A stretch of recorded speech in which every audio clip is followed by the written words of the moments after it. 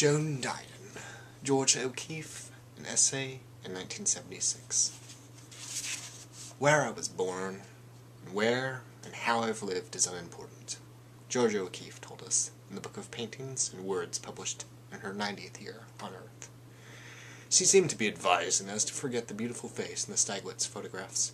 She appeared to be dismissing the rather condescending romance that attached her by then the romance of extreme good looks, an advanced age, and deliberate isolation.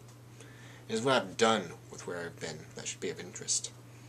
I recall an August afternoon in Chicago in 1973 when I took my daughter, then seven, to see what Georgia O'Keeffe had done and where she had been. One of the vast O'Keeffe sky above clouds canvases floated over the back stairs in the Chicago Art Institute of that day, dominating what seemed to be several stories of empty light my daughter looked at it at once, ran into the landing, and kept on looking. Who drew it? she finally whispered, after a while. I told her. I need to talk to her, she said finally. My daughter was making, that day in Chicago, an entirely unconscious but quite basic assumption about people and the work they do. She was assuming that the glory she saw in the work reflected the glory in the maker, and that the painting was the painter as the poem is the poet, Every choice one made alone, every word chosen or rejected, every brushstroke laid or not laid down, betrayed one's character. Style is character. It seemed to me that afternoon I had rarely seen so instinctive an application of this familiar principle, and I recall being pleased not only that my daughter responded to style as character, but was Georgia O'Keeffe's particular style at which she responded. This was a hard woman who imposed her 192 square feet of clouds on Chicago.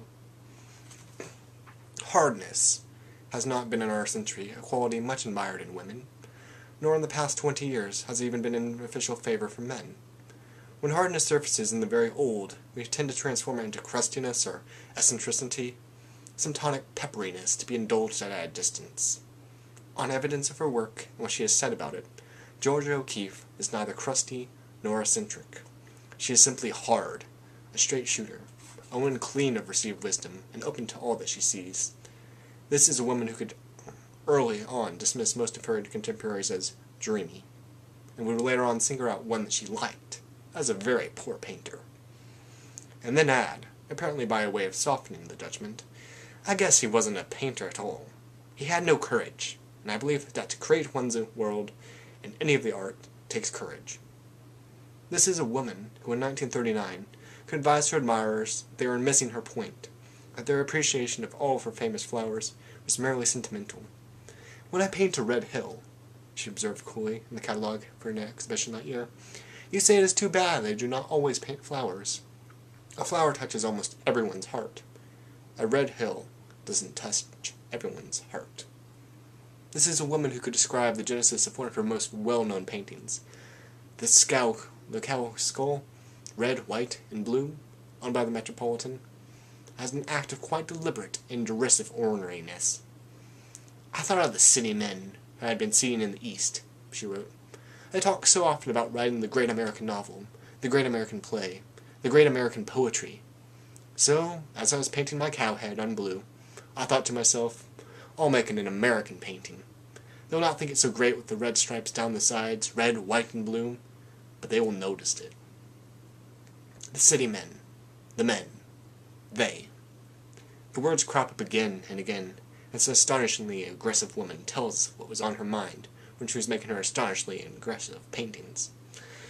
It was those city men who stood accused of sentimentalizing her flowers. I made you take time to look at what I saw, and when you took time to really notice my flower, you hung all your associations with flowers on my flower, and you write about my flower as if I think and see what you think and see. And I don't. And I don't. Imagine those words spoken, and the sound you hear is, Don't tread on me. The men believed it impossible to paint New York, so Georgia O'Keeffe painted New York. The men didn't see much, think much of her bright color, so she made it brighter. The men yearned toward Europe, so she went to Texas, then New Mexico. The men talked about Paul Cezanne, long involved remarks about the plastic quality of his form and color, and took one another's long involved remarks, and the view of this angelic rattlesnake in their midst, altogether too seriously. I can paint one of those dismal colored paintings, like the men. The woman who regarded herself always as an outsider remembers thinking one day in 1922. And she did. A painting of a shed, all low-toned and dreary with a tree beside the door. She called this act of rancor the shanty, and hung out on her next show. The men seemed to approve of it, she reported 54 years later, her contempt undimmed. They seemed to think I was beginning to paint. That was my only low-toned, dismal-colored painting. Some women fight, and others do not. Hello.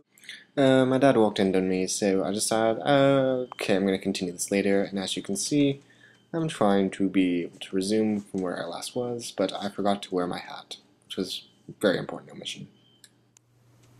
Some women fight, others do not. Like so many successful guerrillas in the war between the sexes, Georgia O'Keeffe seems to have been equipped early with an immutable sense of who she was and a fairly clear understanding that she would be required to prove it. On the surface, her upbringing was conventional. She was a child on the Wisconsin prairie who played with china dolls and painted watercolors with cloudy skies because sunlight was too hard to paint, and, with her brothers and sisters, listened every night to her mother read stories of the Wild West, of Texas, of Kit Carson and Billy the Kid.